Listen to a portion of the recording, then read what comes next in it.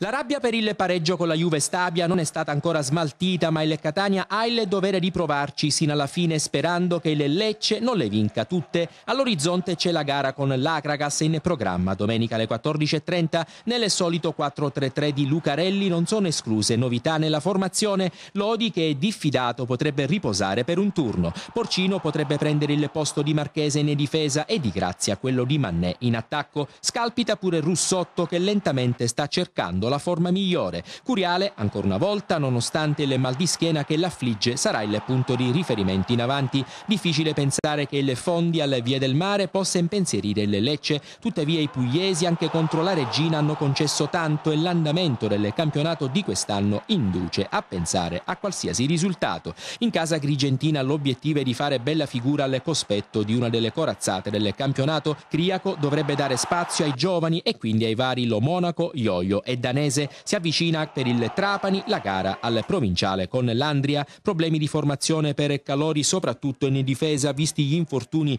di Visconti, Drudi e Paiarulo. In attacco Evacuo sarà supportato da Polidori. Il Siracusa dopo il turno di riposo è pronto a stupire nuovamente lontano dal De Simone. Il Catanzaro reduce dal pareggio con il Cosenza e squadra da non sottovalutare. Bianco dovrebbe riproporre il 4-2-3-1 con Parisi, Catania e De Silvestro a supporto di di Scardina, unica punta. La Sicula Leonzio continua a sognare un piazzamento playoff. Il Cosenza all'Angelino Nobile sarà un cliente difficile, ma la squadra di Diana avrà dalla sua parte la spinta del proprio pubblico. Nell'ambito del 4-3-3 in difesa tornerà De Rossi che ha scontato la squalifica. Arcidiacono scalpita per giocare dall'inizio in attacco. L'unico sicuro del posto sembra Lescano.